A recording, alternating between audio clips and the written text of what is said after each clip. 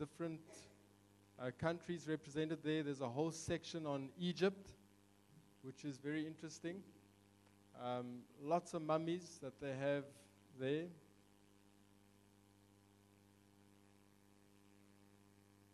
This was at the end of 2002 when we had the privilege of going there.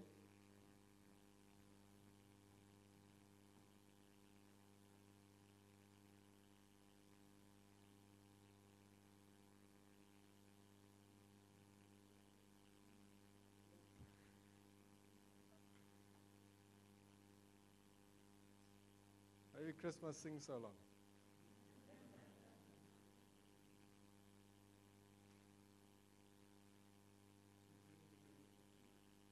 Okay.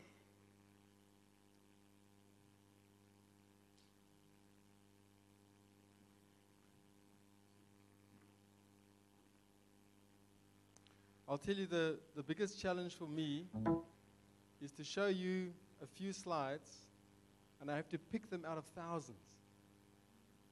Thousands and thousands. The last trip I took 6,000 pictures. So you can imagine, you know, like I sit there and I'm like, and it's folders and folders and folders and discs. And so when you see a slide like that, you know I've like prayed about it and hunted for it. No, this is the one I'm showing you tonight. Okay. Thank you. Well, let's thank the Lord. Let's pray.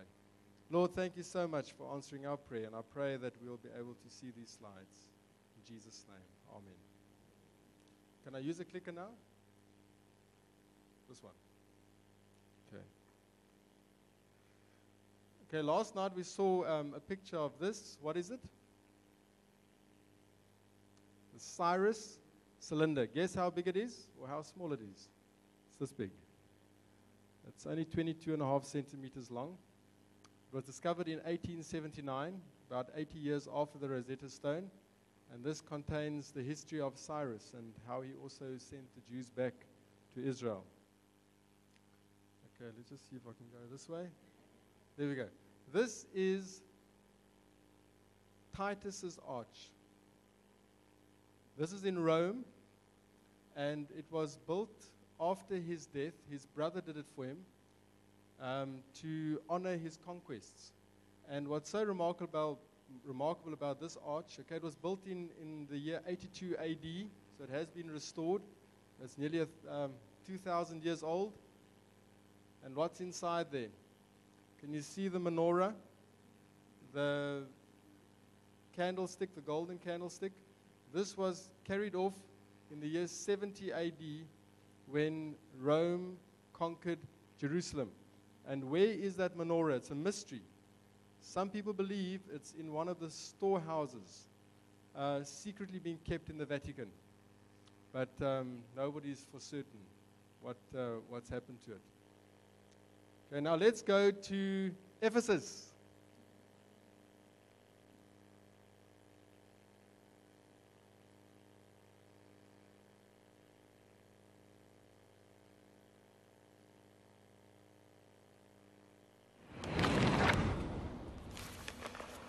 To the angel of the church of Ephesus write, These things says he who holds the seven stars in his right hand, who walks in the midst of the seven golden lampstands. I know your works, your labor, your patience, and that you cannot bear those who are evil. And you have tested those who say they are apostles and are not, and have found them liars. And you have persevered, and have patience, and have labored for my name's sake and have not become weary.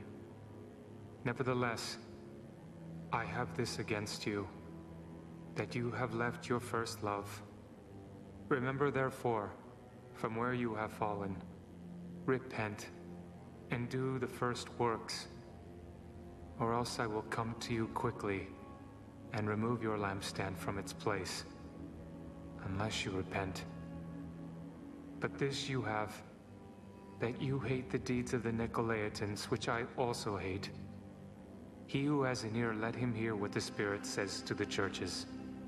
To him who overcomes, I will give to eat from the tree of life, which is in the midst of the paradise of God.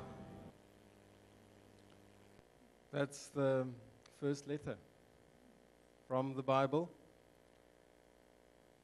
An amazing place. I think you can spend many weeks exploring Ephesus. You can see they had a very, very elaborate um, plumbing system. You can see all those pipes.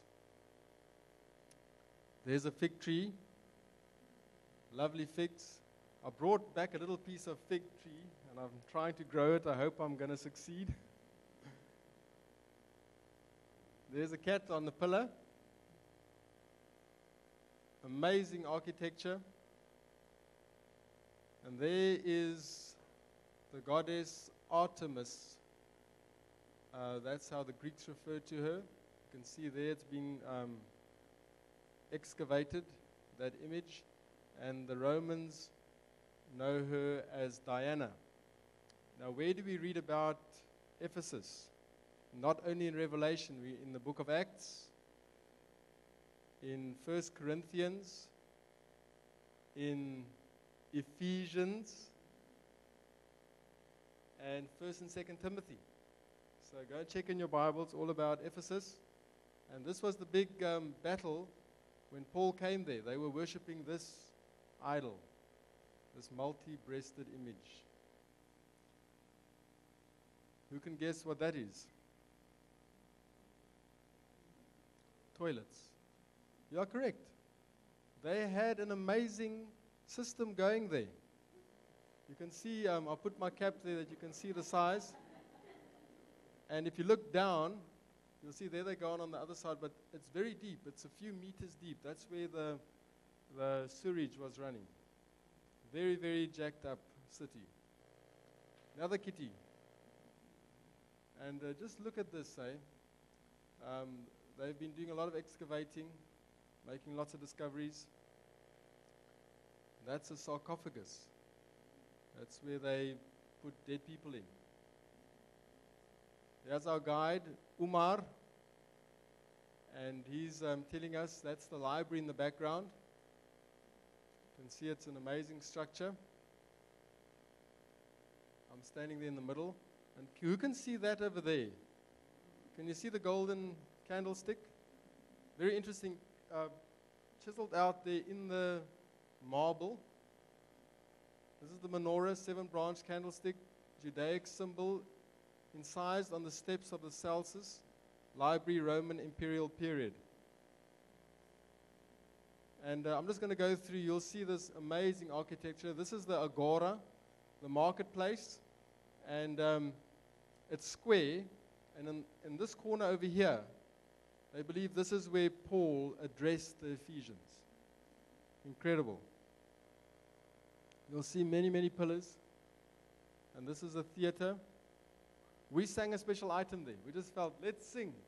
And people gathered around and it was really special, you know, singing to the glory of God in this um, ancient theater.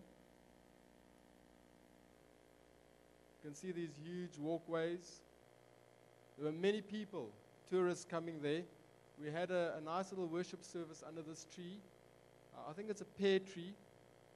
And um, we read at each of the seven churches, we read the letter in the book of Revelation, which was really special. You can see the fruits on the tree there. And there's a, a whole bunch of sarcophagi, many of them. And um, you can see toward the left and the right, there's pillars and bases everywhere. I, I, wish I could show you all those pictures. We're just incredible to see the artifacts that they've discovered in the excavations. And there's our very punctual uh, Turkish bus driver ready to take us to the next site. So I look forward to meeting with you again. God bless. So, who can guess what the next city is? What comes next? On, come on. We're studying the book of Revelation. What city comes next? There we go. Which is the next church? Which is the next church? Who's going to go? Oh, I see one hand waving from the back. All right, so in two nights' time, actually on Friday evening, Kim will be taking us to the city of Smyrna, which was which is the next letter. So thank you, thank you very much, Kim. Um, We have uh, prayer request uh, cards which we've been handing out each evening. So if there's anybody would like at this time to hand back those cards filled in, now's the opportunity. You could just raise your hands and the ushers will come round and collect it from you. Also, if you would like a prayer, prayer request, you can collect one right now. Or if you'd like, uh, on your way out, uh, the ushers will hand them out to you. We have a dedicated group of prayer warriors that pray over each and every request. So I appeal to you if there's something that's burdening you, or a loved one, or whoever you would like prayer for, it's completely confidential and it would be wonderful. There's great power in prayer. So we really uh, encourage you to fill in those prayer cards. And we invite you to share as your prayers are answered. Please do let us know. It's lovely to celebrate the Lord at work in our lives. And um, it's a wonderful joy to share with others that even without the detail, the Lord has answered my prayers. Come celebrate with me. It's such a joyful feeling. So now we did say to you that there were a whole range of opportunities to participate. So we're going to test your memory from last night. So, how many of you took your little leaflets home? You had two flyers that you took home last night. There was a, a little black and white handout, one like Nolan has there. And then there was a, a printed color one that was a summary of the prophecies in Daniel chapter 2. So now it's test the team time. Okay, so Nolan has the first question. Let's go. Okay, a lot of the uh, answers to these questions came from Daniel 2. The first one was Daniel took no credit or glory in himself when he told the king. But as for me, the secret is not revealed to, and what is the, uh, what is the, the word missing there? Anyone? But as for me, this secret is not revealed to me. That's the word. For any wisdom that I have more than any living. He was a very, very humble man. Okay, so here's the question. Okay. Daniel acknowledged that he did not have the answers. Who had them instead? Okay, and he said that to the king very clearly that the answers are not with me, but rather there is a God where? Which God? The God where? In heaven, that reveals secrets. So, right up front, and you might remember some of the, the images that were up on the screen last night as Daniel stood, an artist's impression of Daniel standing before the king. And the king saying, So, can you tell me? And he said, No, I can't. But the God in heaven who reveals secrets, he can tell. Okay, Nolan. There's a song that we often sing, a chorus actually. He's got the whole world in his hands. So that is the clue for this next question. And it says Scripture asserts the supreme rulership of God by saying, Can anyone finish that sentence? It says, He removeth kings and he setteth up kings. So God has always been in control. The Most High ruleth in the King of men and giveth it to whomsoever he will. Daryl. So the prophecies that Daniel interpreted for um, Nebuchadnezzar applied to which time? What was the relevant time period in the prophecies that we looked at last night? Yes. 695, that side, okay? So right from the time of Babylon until when? Until when? What was the last time period that was in the study last night? So it started before Christ through up until? Right up until now. All right, and what was the last part of that prophecy? The stone, and which time period is the stone? Is that now? Still to come. So the prophecies went all the way from the time of Christ through to today and actually into the future. Okay, well done. So there were a few listening. And there's a few who came, even if they who came knowing. So well done. Okay, last one, Nolan. Okay, the last one. The blueprint of history delivered by God in a dream seems dependable, for it has already been fulfilled in all particulars for 2,500 years. But can we trust it for the remainder of Earth's history? God says, and this is taken from Daniel 2:45. The dream is certain, and the interpretation thereof sure. Daryl. Okay, so tomorrow evening we're going to. We've been rather easy on you tonight. You, your handout that you will get as you leave this evening, okay, has a summary of the things that Brian is going to cover with us. And right at the back are a couple of questions.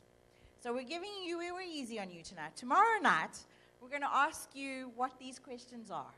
Okay, Thursday night, Thursday next night. We're going to ask and have a run through. So if you have a few moments between now, you've got a day's grace. So tomorrow evening, you have plenty of time. Um, let's see, the more we go back to it, the easier it is to remember. One of the things that received resounding applause last night, you remember those three ladies who lifted the name of Jesus on high? So this evening we have the privilege of welcoming Chris to share another of his talents and to praise the Lord in music. Chris, thank you.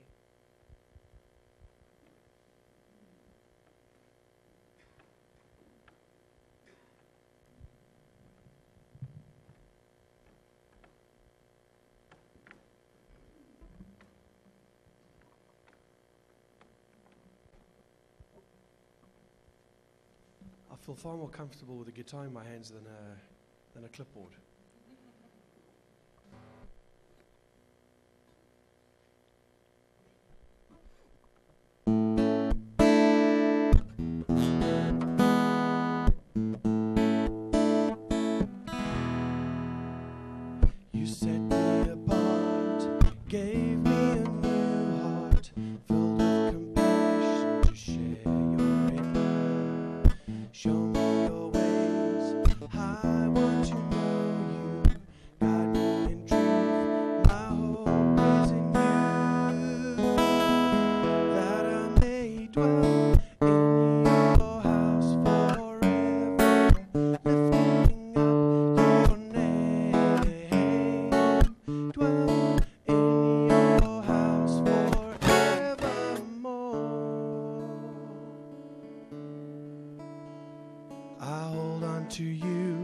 My strength and my refuge. Whom shall I fear? I know you are near. All of my days I live for you, Lord. Establish my path. There's one thing I ask that I may dwell in your house forever, lifting up your name. Dwell in your house forevermore that I may dwell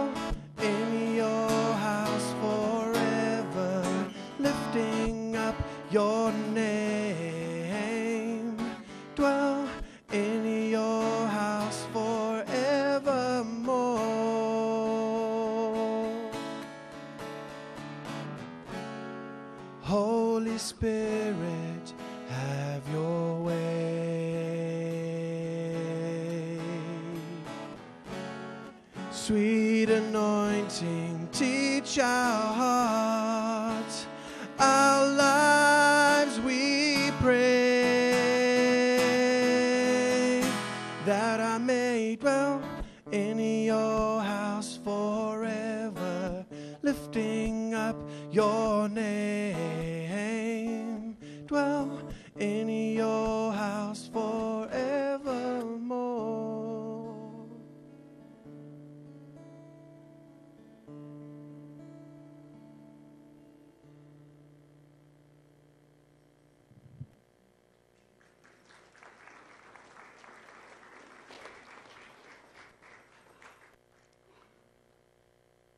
Good evening, friends. Thank you, Chris, for that beautiful item of music. Um, we're going to try and get you out on time. We're running a little bit behind, but I'll ask you to bow your heads with me as uh, we begin with prayer. Our Father, our God, we thank you this evening that we can be gathered here again to hear thy word. And this is all because of your grace. We ask that now, with your presence, touch each heart, speak to each mind, give us understanding and clarity of thought to listen to you as you speak to us tonight. We thank you in Jesus' name. Amen. Okay, if I can just come out of this here.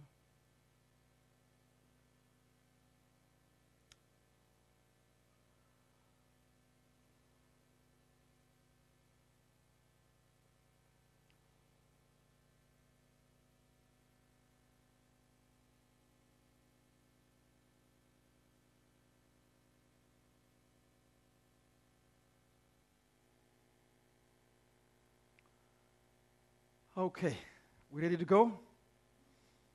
Got a lot of material to cover tonight. So I need you to be a little bit faster tonight. I'm going to pick up the pace. I see the clock is against me here. Our message is Revelation's greatest end time signs. Today, in this postmodern world, people are really anxious about getting on with life. But at the same time, they're wondering what is going to happen in this life. People are looking to the horizon, they're looking at what's happening in the world today, they're looking at what's happening in the, in the countries, they're concerned about the future. And, and this is not just for South Africa only, it's a global problem all over the world. People are anxious about what is taking place. They look at the events in the political arena, they look at what's happening in the show, social world, they look what's happening in the economical world. They're looking at what's taking place in the nations around the world, and they wonder what is coming next. Well, the book of Revelation, friends, is God's plan for the future. And so we're going to look at what God has to say to you and us, to you and I today. Many people think it's a closed book. Many people think it's a book of unexplainable images, of cryptic writings. And people think it's about beasts and symbols, and they tend to avoid this book. In fact, this book, friends, is all about Jesus Christ. Notice in Revelation 1, verse 1, the revelation of whom? Jesus Christ, which God gave him to show his servants things which must shortly take place. And so this book was given to John through the angel who got it from Jesus, who got it from his father. And this angel, friends, sent and signified, that means announced. This is an announcement to the world because this was given as a revelation from God to John for you and I are living in the last days. And so, friends, it's not a book about somebody who has written some human writings. It's not about a someone who's seeking to push their own agenda. It's not about a psychic or a seer. It's not about anybody else. It's the revelation of Jesus Christ. And so, John, when he received it from the angel, he wrote it down, and the book of Revelation is God's last message, and so it's the last book in the Bible. Friends, it's an open book by definition. The name is the revelation, which means to reveal, to unveil. And the theme of the book, friends, is about Jesus. In fact, the first chapter in verse 7 says this here Behold, he is coming with clouds, and every eye shall see him, even those that pierced him. And all the tribes, it's a message for the entire world. All the tribes of the earth will mourn because of him. Friends, it's a message that takes our eyes off earth to heaven. It's a message, friends, of hope. It's a message of a better day and a better place that God has gone to prepare for us. And so, if you're going through problems tonight, if you're experiencing difficulties in a relationship, if you have health challenges, if you have financial challenges, it's a book of hope. And friends, we're going to look at some of this. In fact, it says, Behold, he's coming with clouds, and how many?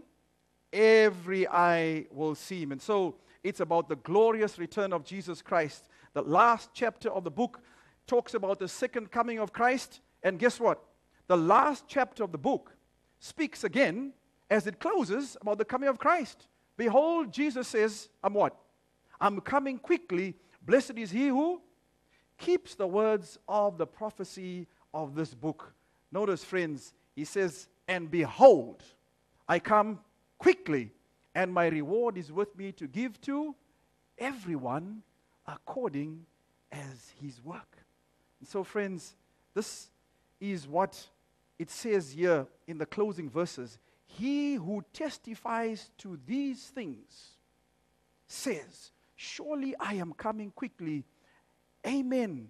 Even so, come, Lord Jesus. The Father says, I'm coming quickly. The Son says, I'm coming quickly. The Holy Spirit says, I'm coming quickly. And so John's response is, Even so, come, Lord Jesus. Friends, but you might be saying, wait a minute, Brian. Haven't we heard this before? That the Lord is coming soon? We've heard it from our parents, and our parents heard it from our grandparents. In fact, that has been around for a while. And so, friends, I want you to know that though you and I don't understand how quickly the Lord is coming, He is coming sooner than you and I can think. You know, there was uh, a famous preacher by the name of H.M.S. Richards, who was the speaker for Voice of Prophecy in America. And he was conducting a meeting like this with a large audience one night. And he was speaking on the soon return of the Lord. And someone in the audience got up and said, Wait a minute. Jesus may not come now. He may come in a hundred years. He may come in 200 years. Well, Pastor Richard, Richards looked at this man. He was about 70 to 75 years old. And he said to him, Sir, by your looks, it looks like you won't be here for another 100 years. Friends, Jesus comes when you and I die the next minute. The very second we come up in one of two resurrections. We're going to look at it another night. The Bible says when Jesus comes, there will be a resurrection of the righteous. That's the first resurrection. Then you have the millennial judgment that takes a thousand years. And then after that, you have a second resurrection. And so, depending on how you and I die, whether we are in Christ, we come up in the first resurrection. If we are not in Christ, then we come up in the second resurrection and that's the resurrection of damnation, the resurrection of eternal death. And so, if you and I die, we're going to look at another study later on. The next minute we get up, the next second, between the time you die and one of the two resurrections, it is a period of inactivity.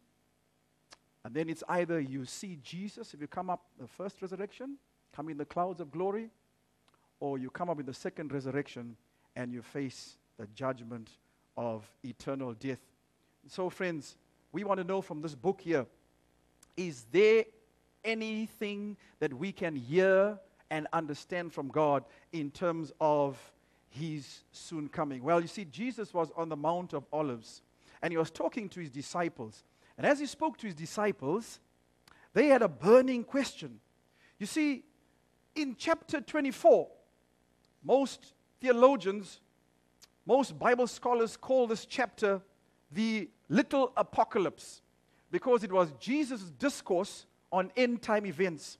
You see, Jesus is sitting on the Mount of Olives and is looking down on the city of Jerusalem. And you can compare Matthew 24 with the book of Revelation that we're going to go through, and you'll find the signs in Matthew 24 and the book of Revelation are very, very similar. And so the burning question the disciples had, which you and I am sure may have tonight, was what will be the sign of your coming? And what, everyone? the end of the age. They want to know how is this world going to come to an end? Lord, is there any evidence that we can know how soon you're coming? How can we tell? And so, friends, Jesus gives us prophecy so we can know where we are in the scope of Earth's history and know how near He is. Not the day He's coming, nobody knows that. But, friends, we need to know how near He is to come. And so, are you interested in that same question this evening?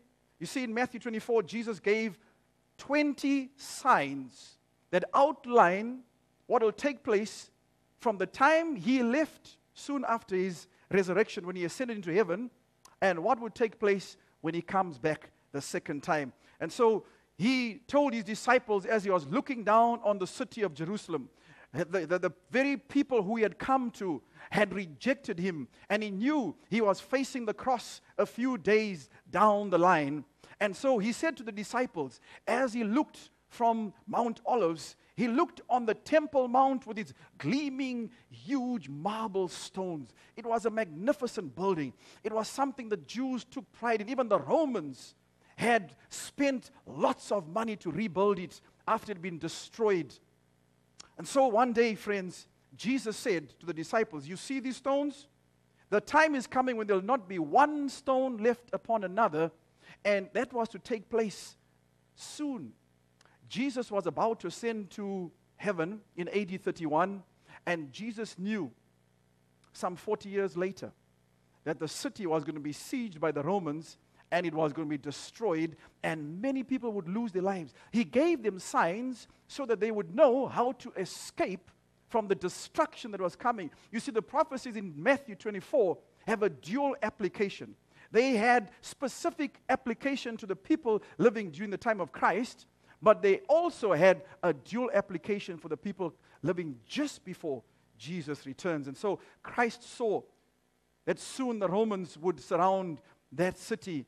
And when Titus came, first Cestius came, and then Titus came, and the siege was awful. A million Jews perished in that city. And so, friends, Jesus gives a masterful, a masterful presentation, and he blends in both events things that will take place shortly during the time of the disciples and things that will take place later on shortly before he would come. And so he spoke of signs in the world of religion.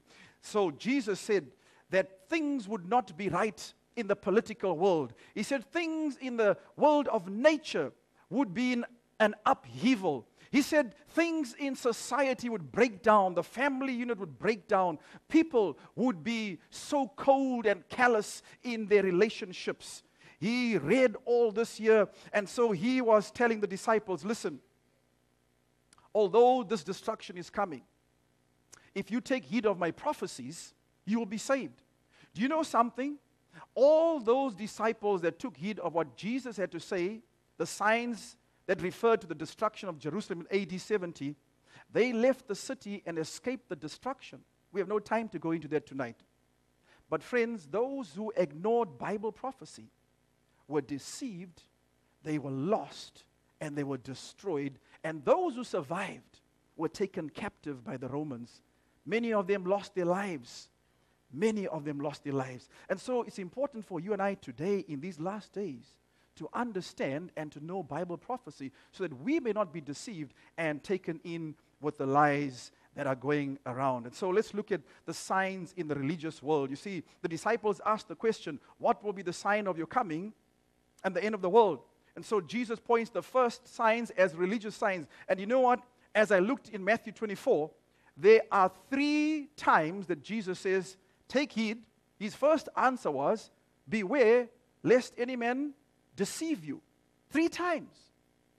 That's important, that number. Three times God says, Beware of deception. Beware of deception. Beware of deception. And so he said false Christs and false prophets would arise. Notice what he says here in Matthew 24 24. For false Christs and false prophets will rise and show great signs and wonders. And so a time will come when these men and women too would lead people astray. In fact, the Apostle Paul says he, he, he, recognized when he was about to die, he says, The time of my departure is at hand, and he says, I know many of you will be taken in with deception. And so, friends, I want you to look at this here. Some of these statistics are from the United States, but it's, it's all over the world. Notice what it says here. In the United States, during the last decade, the number of people who identify themselves as belonging to the New Age movement, you've heard about that, has increased by 247%. That is a whole lot more now. The modern occult, Wiccan, pagan, and Druid religion is now listed among the 10 largest organized religions in the country. Teens, especially, are attracted to these occult movements and outnumber older converts by, converts by 3 to 1. In fact, I saw a sign in Berea just the other day. I got a picture of it. I didn't bring it to show you today, but it, it was actually saying that those who are interested in the New Age movement dial this number right here in South Africa. And so, friends, this is on the rise. This is on the rise. And so, I want you to listen to this little video clip here. It's only two minutes, so just listen. Don't worry about so much about the beginning, but closely about the end, because all these false Christs and false prophets have one thing in common. They lead men and women away from the Word of God, and they play down sin. And so, this is happening all over. And, and, and if you and I don't spend time in God's Word, we could land up being deceived by some charlatan claiming to be Jesus Christ. So just listen. He enters this hotel conference room in Hartford, Connecticut with a security team that rivals a head of state. An adoring audience greets him with calls of daddy and sings his praises. He is 60-year-old Jose Luis de Jesus Miranda from Puerto Rico, a preacher, an evangelist to be sure, but to his followers and in his own eyes, he's more than a man of God. Just ask him. I'm Jesus Christ man in front of you. That's right. He says he is the second coming. He claims in 1973 he had an epiphany. When Jesus, the resurrected Jesus, came to me, he integrated himself within me. So why you? I don't know. In the mid 80s, Miranda started his own ministry called Creciendo en Gracia, or Growing in Grace. It's a religious movement that claims a presence in more than 20 countries, mostly in Central and South America, but also in the United States. From Hartford to his headquarters in Miami, he says there are more than 30 teaching centers nationwide. We don't give membership cards.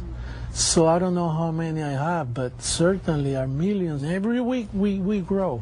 And with a 24-hour cable channel, netcasts of his sermons and radio programs, Miranda is out to spread the word. Those who believe him, like these followers in Miami, the Son of Man is back! also embrace his unique interpretation of the Bible. For example, sin no longer exists. God doesn't see you as a sinner. For me, you are a, a, perfect spirit. There's also no such thing as the devil. Satan is a, a Hollywood uh, character. As for prayer, he says it's a waste of time, and he calls all other religious leaders liars.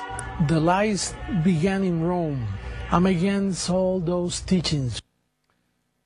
This man is popular He's got hundreds and thousands of followers in 20 different countries. And so, if you just go and type in the internet false Christ, you, you'll come up with well over 5 million, not 5 million, 500,000 hits. And so, the thread through all these false Christs and false prophets is that they lead men and women away from the Word of God and direct men and women to themselves. And of course, they have private jets and helicopters and mansions. Uh, I don't want to bore you with that, but uh, this is what's taking place. Friends, Jesus said these things would take place. And it's happening in your generation, in my generation. We've had a few right here in South Africa. And so counterfeits are not always easy to recognize. And friends, when we don't take time to spend personal time with the Lord in His Word and through prayer, then you and I will certainly be deceived. And so notice what Revelation has to say here in Revelation 16, verses 14.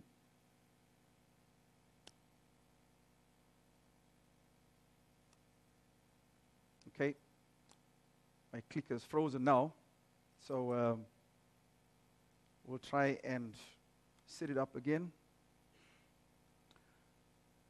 The important thing to remember, friends, is you and I stick to the Word of God, we will be saved from the deception that is coming. It's most certainly coming. And you know what? When we look in the world today, the enemy is not happy. He's not happy that we are studying God's word and coming to a seminar like this. And sometimes, you know, you have problems and you wonder what's going on. It's the devil. He's not happy. He'll, he'll try and make any excuse for you not to come to a meeting. Your, your car might give problems. You might have to have an extraordinary uh, time at work and, and so on and so forth. But notice what it says here For they are spirits of demons performing signs which go out to the kings of the earth and to the whole world to gather them to the battle of that great day of God Almighty. See, the thing is, friends, false prophets don't come with a badge and a name tag. The devil doesn't work like that. That's why Jesus said, Take heed, beware, no man deceives you. They come in a guise.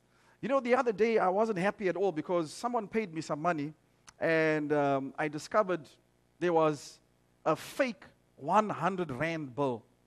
I, and I couldn't bank it. You know, I mean, I, I could have probably gone to the bank and just packed it, you know, in one of the notes and, and got away with it. But, but my Christian conscience wouldn't let me do that. So I, I took it and I put it into a packet somewhere. I meant to have brought it to you so you could see it, but I'm sure you've probably seen these things around. But anyhow, uh, counterfeiters are quite good. You know what? They can make notes that can pass. But have you ever seen a 13 Rand bill? Or 130 Rand bill?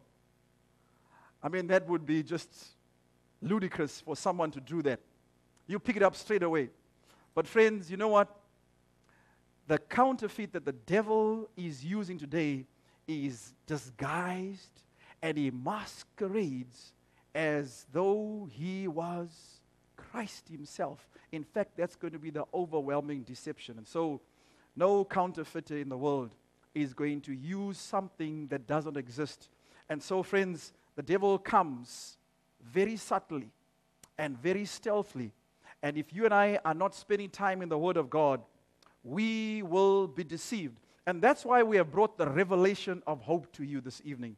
So that you can pick up your Bible, and we've got some for you if, if you haven't brought your Bibles, um, and check the Word for yourself.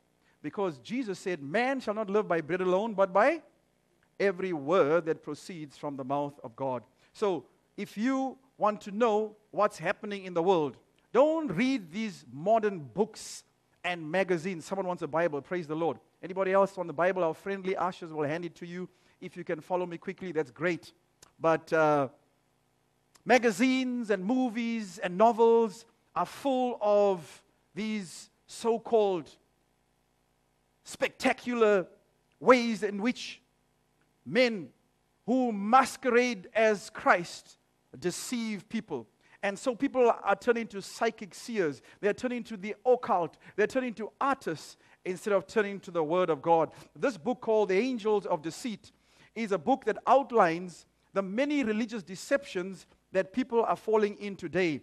These counterfeits are leading men and women away from God's Word. Let me give you a few notable examples that came out in very popular secular magazines like the Time magazine in March of 1997. 39 members of Heaven's Gate cult committed mass suicide with their leader, Marshall Applewhite. Why did they do such a thing? They were told that, you know what, if you just die with us, we're going to live again. You know, the devil's lie is when you die, you don't really die, but you live. They said if you take your life, you will be able to get into this comet called Hale Bopp Comet, and you'll be able to follow the comet uh, and you'll have a better existence somewhere out of this world. And so many people died, friends, 39 cult members. And so when the FBI agents arrived there, because people were phoning now, you know, families missing, families missing. And, and so The announcements were made on the radio and the television. If you don't know anywhere where your family is, place a call. Place a call to this number. What was said is they received over 1,500 calls from family members who were anxious and said, I don't know where my family's gone. I don't know. Perhaps they are one of the 39 that died there. So the phone lines were flooded with people. Here's another example that you may remember. In the 1970s, who's that? Jim Jones captured the world's attention. I was a young man then, but I remember the story very vividly. He led 913 members of his group, the People's Temple, into a deception. He claimed he was God, he claimed that he could take them to a better place. And so the people who bought into his lie, friends, were deceived by this man. And just days before, he had been given awards by government figures in San Francisco. And so this man took the lives of so many innocent people by poisoning them with some poison. And so we find David Koresh not too long ago. This was also, of course, something that captured the world's attention. Strange teachings in a book. He's, he, taught in the book of Revelation, but you can tell his teaching on the book of Revelation was not in Christ because many, many people lost their lives in his cult. Many people followed him. They were sincere, but they were sincerely lost because they did not spend time in the Word. Many people remembered when the announcement was made by the FBI's words over national television. Oh my God, they're killing themselves. When they recognized their game was over, that they were soon to be set free, the cult leader said, It's time to take your lives. So, according to the website, the site www.cultclinic.org, an estimated 5 to 7 million Americans have been involved in cults or cult like groups. That's a staggering figure. And when you think of the rest of the world, the numbers get worse. The total number of these groups ranges from 3,000 to 5,000. There are approximately 180,000 new cult recruits every year. And so Jesus said false Christs and false prophets would come. They would claim to have revivals, they would claim to heal the sick, they would claim to open the eyes of the blind, they would claim to make one that was poor rich. All these great wonders that Jesus spoke of, the book of Revelation repeats them. They would have these great signs and wonders to deceive. And so Jesus warns us about in the book of Revelation 13, verse 13 to 14. He performs great signs so that he even makes fire come down from heaven on the sight on the earth in the sight of men. And he deceives those who dwell on the earth by those signs which he was granted to do in the sight of the beast. Don't miss in the third week when we speak about the mark of the beast. And before we speak about the mark of the beast, we're going to discover who the beast is because the mark of the beast is the mark of the beast. So, in order to know what the mark is, you need to identify from Scripture who the beast is, and it will be very clear what his mark or sign is. And so Jesus takes us to the signs in the world of politics. Jesus said there would be wars. Someone saying, But Brian, haven't there been lots of wars? Yes, they have. But Jesus said, friends, it would be an escalation of wars. Not just wars, but rumors of wars. All over the world, it would become global, not just in isolated areas. And today, we see that, friends. We see that all over. We see wars right close by us here, right here in Africa, in the Sudan, all over. Wars in Zimbabwe not so long ago. There was war in Angola not so long ago. War is all over, friends. The scripture warns about war and rumors of war. This is what Jesus had to say. And you will hear of wars and rumors of wars. And so Jesus predicted that just before the end of the world, there would be international conflicts on a global scale. This is what he said for nation will rise against nation and kingdom against kingdom. And so that prophecy, I'm sure during World War I, the Great War, some 25 million people lost their lives, and people all over the world must be saying, This is the end of the world. This is the end of the world. And soon after they had made peace, it wasn't even 25 years later and there was World War II that took 50 million lives. and so much more untold suffering and misery to the families left behind. And so Jesus said there would be an escalation of wars all over. In fact, in the 20th century, 180 million deaths from war alone. Think about the Vietnam War. Think about the Korean War. Think about the Indochina conflict. Think about the Iran Iraq War, the Middle East conflicts, tribal wars in Africa. Friends, think about the global terrorists that are taking cities and wreaking terror all over the world. Everybody probably remembers the day when the Twin Towers came down. And so terrorists now can take a little bomb in a suitcase and go and plant it in a building in a city somewhere and blow up buildings and kill thousands and thousands of people. And so Jesus predicted there would be fragile peace agreements. Men would strike a peace treaty, and no sooner has the ink not even dried, they back at war. And so we will never have peace, friends, until the Prince of Peace, Jesus Christ, comes. And until he rules and reigns in your heart, you and I will never be at peace. Jesus said, Peace I give unto you, not as the world give I unto you. My peace I give to you. Where? In your heart, in your mind.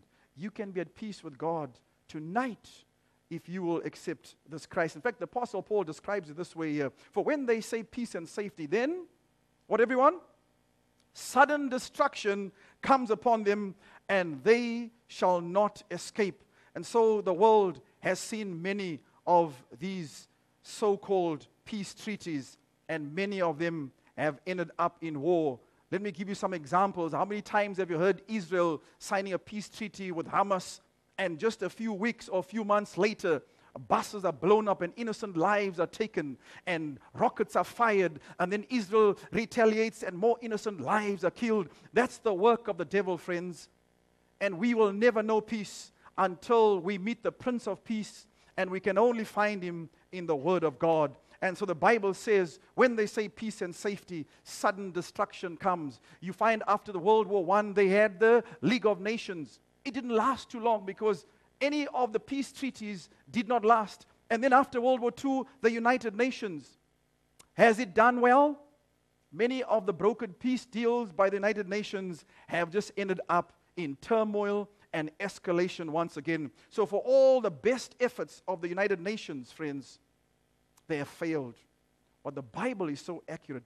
It speaks of our day, and the Bible said, the Bible says that when Jesus would come, the time would be when the human race is able to actually destroy the world and all those will live in the world. Listen to this here. Revelation 11, verse 18. The nations were angry, and your wrath has come in the time of the dead, that they should be judged, and that you should reward your servants, the prophets and the saints, and those who fear your name shall, what? Small and great, and should destroy those who destroy the earth. You know, with the nuclear bomb, the world armaments have capacity to destroy the world over and over again. Couple of stats here. So this, this is the nuclear club. United States, Russia, United Kingdom, France, and China. And of course, don't forget, don't forget that northern, the country of, forgotten the country, doesn't matter, is trying to get their own nuclear bomb.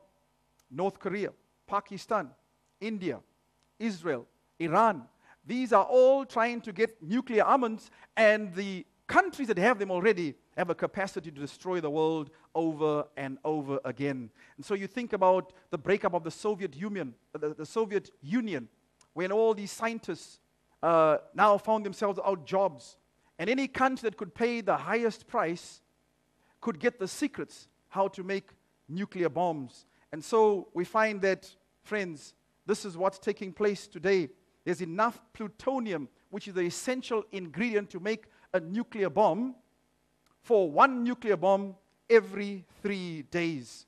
And so we find this is a problem, friends. It's a big problem in the world. And so North Korea and Iran right now are trying to develop their own nuclear weapons. And so a number of years ago, an American newspaper columnist by the name of Walter Lippmann made this statement. This is what he said poised on the brink of the most calamitous conflict that can be imagined. Indeed, it cannot even be imagined. And that's why the Bible says that when you see these things take place, know that Jesus is soon to come. There is going to be a time when God will end the affairs of the nation of this world. It will not end in a nuclear annihilation and the world is destroyed. And so, friends, the signs of times are being fulfilled right now in your eyes and my eyes. In fact, William Ripley, the journalist, said, I am standing on the place where the end of the world began. He was standing where one of the nuclear bombs went off in Japan, in Hiroshima. And he warned that this would end up in catastrophe. And so Jesus said he will step across the threshold and he would come to save his people. Because when this earth is in this kind of state, people don't know what is next. Notice what Luke 21 says men's hearts failing them from fear and the expectation of those things which are coming on the earth. For the powers of heaven will be shaken. Friends, the earth is being shaken. Revelation reveals there's hope, there's signs in the world, in the religious world, in the signs, friends, in the political world. There's signs in the natural world. There's signs, friend, in the world of nature that Jesus is soon to come. Friends, Christ said many of these things would take place. He spoke of many of the things that we are witnessing today. Think of things like, friends, tornadoes. Think about fire. The, math, the book of the Bible, Matthew, in the book of Matthew 24, Jesus said these things would take place. I'm getting so excited, I'm getting a little bit tongue tied. And so Jesus said there would be fire, there would be floods, there would be hurricanes, there would be tornadoes. And friends, you remember in 2011 what took place? That terrible earthquake that shook Japan. I visited Japan a few months after that. Many, many of were lost in terrible earthquake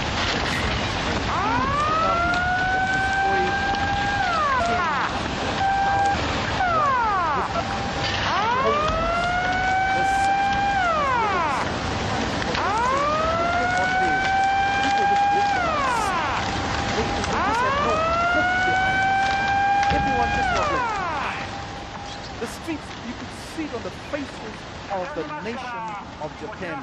It was a terrible, terrible time. And Jesus said these things would take place. What about famine? Christ predicted there would be famines. And you might say to me, Brian, well, famines have been around. Well, Jesus said there would be famines, plural.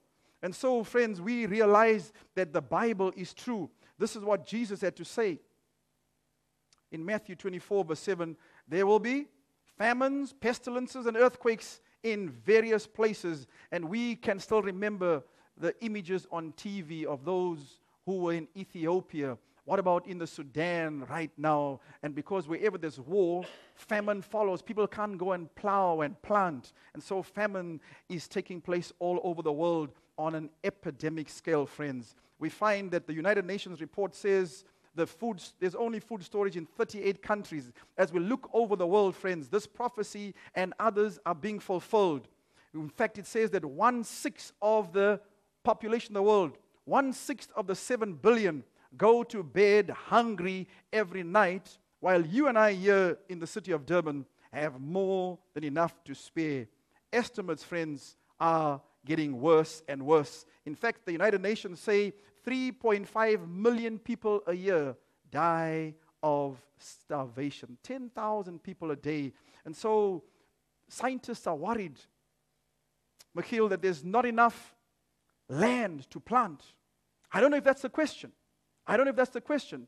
They're worried about the fact that there's not enough countries planting enough food to feed the world. You know what?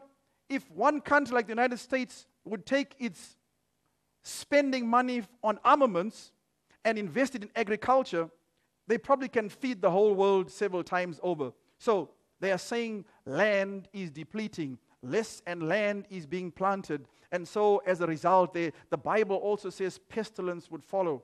What is a pestilence? Jesus said this year in Matthew 24, verse 7 there would be famines, pestilences, and earthquakes in various places. And so a pestilence is what?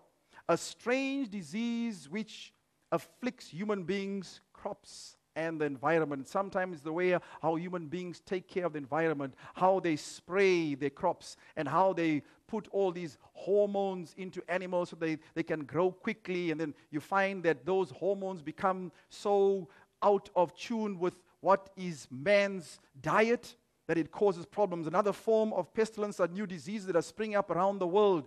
You think what's happening right now in Africa with the Ebola virus. Around us today, we see all these things mad cow disease, bird flu, HIV, the Marburg virus, and Lyme disease. 2.4 billion pounds of toxic pollutants cause an estimated 50,000 to 120,000 premature deaths every year. And so there's a warning to humanity here. No more than one or a few decades remain before the chance to avert the new threats we now confront will be lost, and the prospects of humanity immeasurably diminished. And so, earthquakes, Jesus said there would be many earthquakes and in different places. There have been earthquakes before, friends, but there have been here and there just a few. But Jesus says, friends, there will be famines, pestilences, and earthquakes in various places all over the world all over the world, you would see these terrible things taking place. In fact, the biggest earthquake will take place just before Jesus comes. This is one of the plagues that will end the time on this earth. Notice what it says here in Revelation 6, verse 14. Then the sky receded as a scroll when it is rolled up, and every mountain and island was moved out of his place. And there were noises and thunderings and lightnings, and there was a great earthquake. The greatest earthquake, friends, will announce the coming of Christ. In fact, when Jesus died on the cross of Calvary, there was a great earthquake. In Matthew 27, verse 51, it says, The graves were shaken, and many of those who slept in the graves rose up after his resurrection. In fact, when Jesus came forth from the tomb, another earthquake announced, He's alive. When he comes the second time, an earthquake will take place, friends. Such a mighty and great earthquake as has not occurred since men we on the earth. The good news is those who have the seal of God will not be affected by any of the seven plagues, friends. God will protect his people from the plagues. Only those who have the mark of the beast will be affected by the seven plagues. And so earthquakes will increase, friends, all over. In fact, seismologists tell us, friends, that 35 earthquakes a day. This is a bit of an old static, uh, old uh, a statistician. Notice I looked today, just the other day, what's taking place right now. 81 earthquakes occurred in the past seven days. We had one just the other day, right here in South Africa, right? And notice what they said hundreds of people die in earthquake. No one bats an eye. Magnitude 4 tremor in South Africa, and everyone loses their minds. So, wherever it happens all over the world, they're so used to it. So when thousands die, it's just like another day. South Africa, you have a, a four on the Richter scale, and everyone's wondering what's going on. And one person lands up in hospital. Luke 21, verse 1, 11 says this, and there will be great earthquakes in various places, and famines and pestilences, and there will be fearful sights and great signs, friend, from heaven. So there will be an upheaval in nature. I'm going to go quickly, friends. Luke 21, verse 26 says, Men's hearts failing them from fear and the expectation of those things which are coming on the earth. And so we see, just as Jesus said, there would be floods, there would be famine, there would be pestilences, there would be wars, there would be fires, great loss of life would take place, friends. But know that these are just the birth pangs. They are announcing the soon coming of Jesus Christ. And when you see these things take place, friends, don't lose heart. Look up. Christ is soon to come. He's on the way. In fact, friends, very, very soon, Jesus will be here. And so we are told that there are major earthquakes all over the world, major tsunamis all over the world. And so we find some of them took place very not so long ago. The Asian tsunami in December 26, 2004, a 9.1 magnitude on the Richter scale. Over 230,000 were killed. Indescribable damage, friends. The 2005 Atlantic hurricane season, mostly named, uh, the storms were mostly named, friends, during this time here. And it says Hurricane Katrina was the costliest storm in history, over 75 billion in damage and the economic impact of 250 billion. And so we see this on the news headlines, we see it on television, we read in our papers, and it's kind of like we become desensitized to it. We're so used to seeing all these things that we just, it's just another day. Yet thousands and thousands of lives are lost, many families separated, and many can't live on. And so Christ spoke about the moral decay. In fact, this is what it says here in Matthew 24, verse 20, 37 and 38. But as the days of Noah were, so also will the coming of the Son of Man be. For as it was in the days before the flood, they were doing what? Eating and drinking, marrying and giving in marriage until the day that Noah entered the ark. And so, friends, we see that in the world today. People are worried about partying, people are worried about eating and drinking and having fun. And all the time, Christ is about to end the judgment in heaven and it will soon come in the clouds of glory. So, as it happened in the days of Noah, so will it be, friends. There would be a breakup of the family unit, complacent attitude towards spiritual things and moral living. And so, 50 to 75% of all marriages today end up in divorce. And who suffers, friends? The poor children suffer, the parents suffer, but the children suffer the most. It's a sad world we live in, but friends, Christ says to you and I, look up when you see these things happening, I'm soon to come. Although there's rising crime and violence, Jesus says, I'm coming soon. Then the Lord saw that the wickedness of man was great in the earth. This is the time of Noah. That every intent of the thoughts of his heart was only evil continually. And the Lord was sorry that he had made man on the earth, and he was grieved in his heart. So it says, the earth also was corrupt before God, and the earth was filled with violence. So God looked upon the earth, and indeed it was corrupt for all flesh had corrupted their way on the earth. What we see in the world today?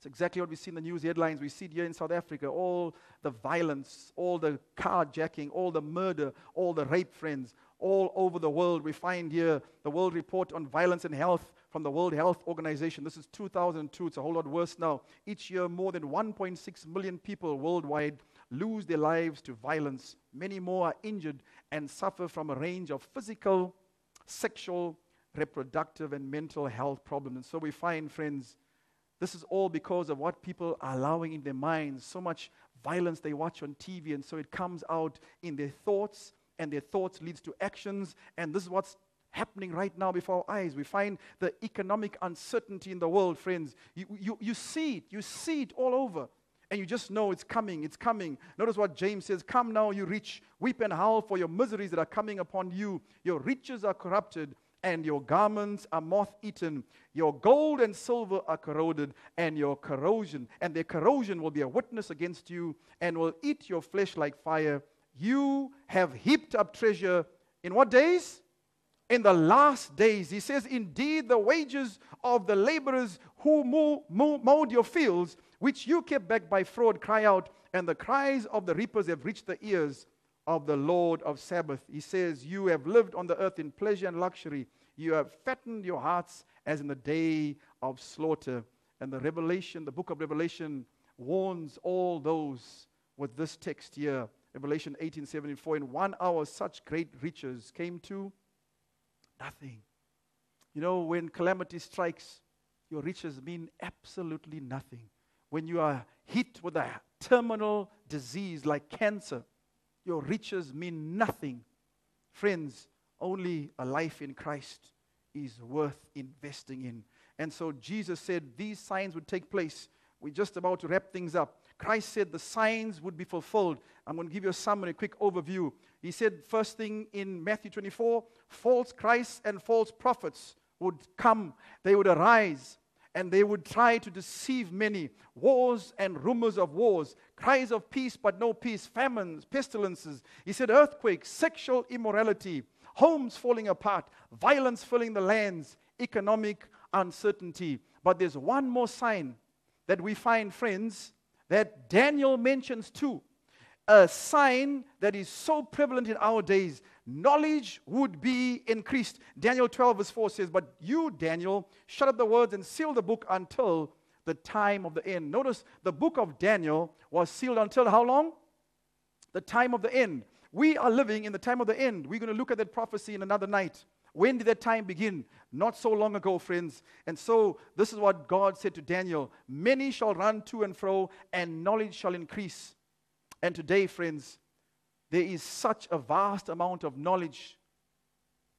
The technical gadgets we have, and the cars, and the rockets, and the spacecraft, and all that's taking place in the economic world, friends, in the political world, all over the world, we see this happening. But you know what? When Daniel was told about that, true, it is, knowledge has been increased these days. If anyone doesn't think that, just think about the computer age. Knowledge has increased. But you know what, friends? Daniel was speaking more about that than the knowledge that we have from our great scientific minds. 90% of all scientists and technicians that have ever lived are living today with a boom of knowledge, an explosion of knowledge. And so Daniel says, and knowledge shall increase. But I want to say to you tonight the knowledge that is most important is not the wisdom of men, it's not the knowledge that you find in the university, in a degree. It's not a knowledge, friends, of what you know about what's happening in your business.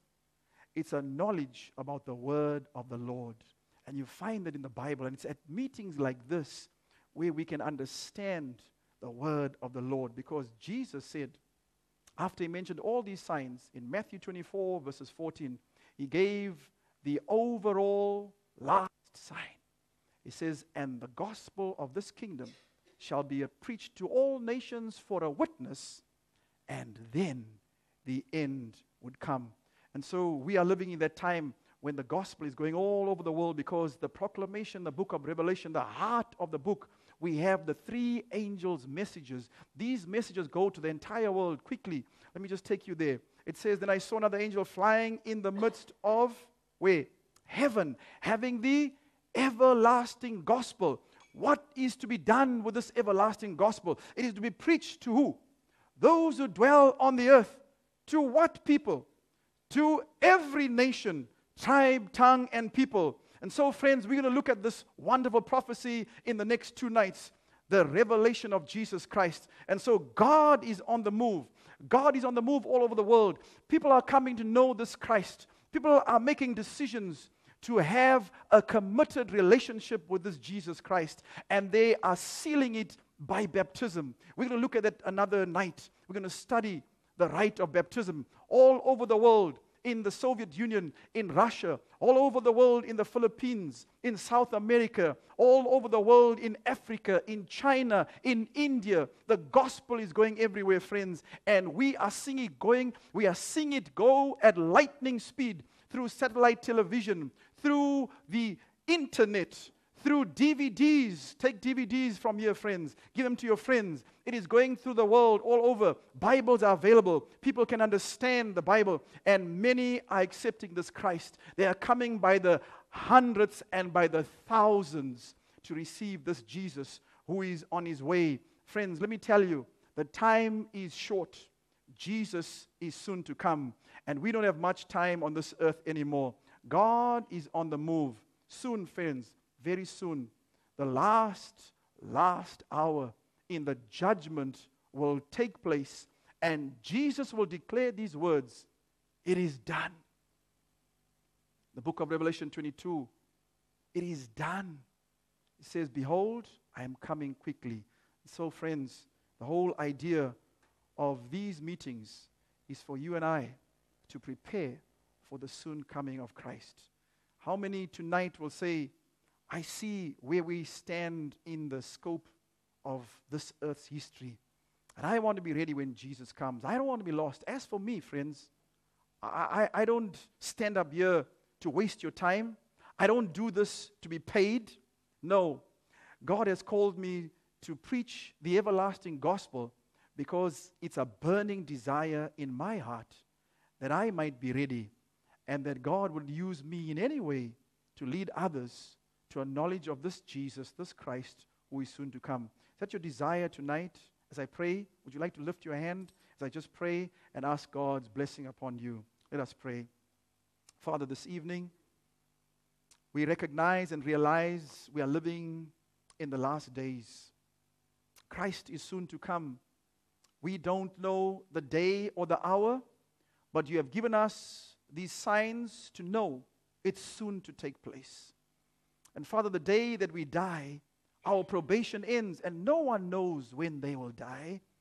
And so, if I were to walk out of this room tonight and sleep the sleep of death because of a heart attack or a murder or a car accident, I want to get up on the first resurrection to see Jesus in the clouds and spend eternity with Him.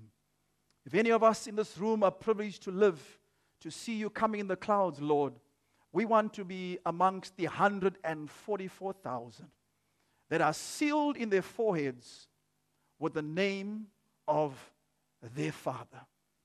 The seal that you have given is the seal of the Holy Spirit, bringing your word into our hearts and minds so that we might be saved.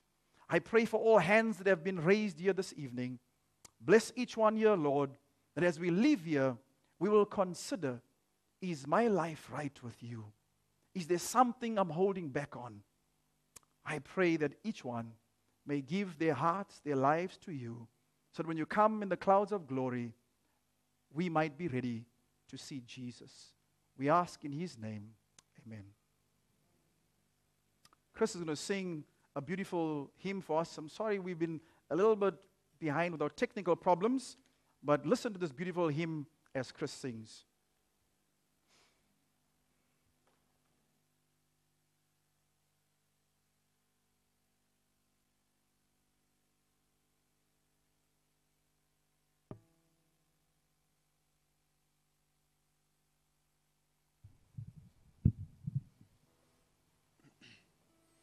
The song's called Refiner's Fire.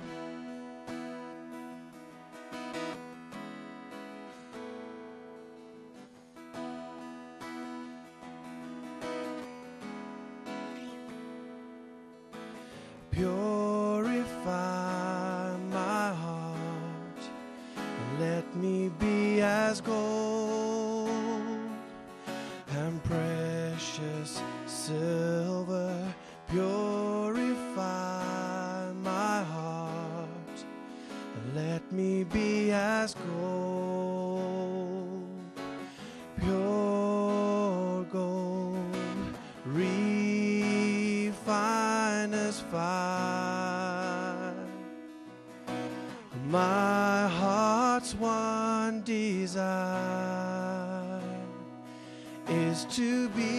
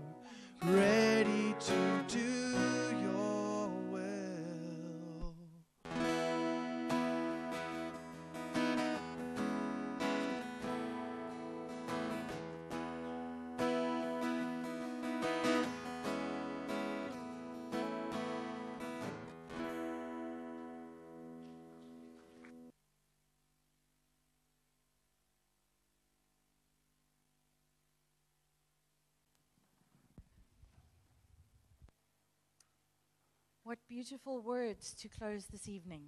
Ready to do your will. So, friends, we have the privilege of saying uh, we've come to the end, and may God be with you as you travel home safely. Tomorrow evening is a really interesting topic. Those of you who have a program on hand, Thursday evening, sorry, they keep reminding me. Yes, I know you won't be here tomorrow evening. Thursday evening. Um, interesting topic. It is titled very simply Revelations Star Wars. Now, I don't know if there are any Darth Vader fans in the room. Um, it's not that kind of Star Wars. But um, if you feel the need to come in your Darth Vader outfit, we will still let you in the door. Um, but please do come and join us on, on Thursday evening. And we will also have the privilege of introducing to you Dr. Adele Becker is a pediatrician with her own practice, and she's going to be unpacking for us um, both the sad and the happy side of depression. And what we, it's a very sad truth, but what can we do about it? So, something very simple, very practical. So, we invite you to join us on Thursday evening and not tomorrow for Revelation Star Wars and for what we can do with depression. So, Nolan? Folks, there's uh, refreshments provided for you just outside. Please feel free to stay. We also have our literature stand, and tonight's uh, book on offer, uh, free of charge, is The Great Hope. So please take, take a copy and take, a, take one for a friend as well. There are also, of course, uh, Brian's DVD from last night, which is available, as well as Kim Roro's, uh, uh, the very same topic available as well. So please feel free uh, to take one of those. Also, we have your Bible study guide, which the ushers will give to you uh, as you uh, leave. So please uh, have a read and fill in uh, the quiz at the back, because on Thursday, when you return, we will go through that together. Thank you for coming, and God bless.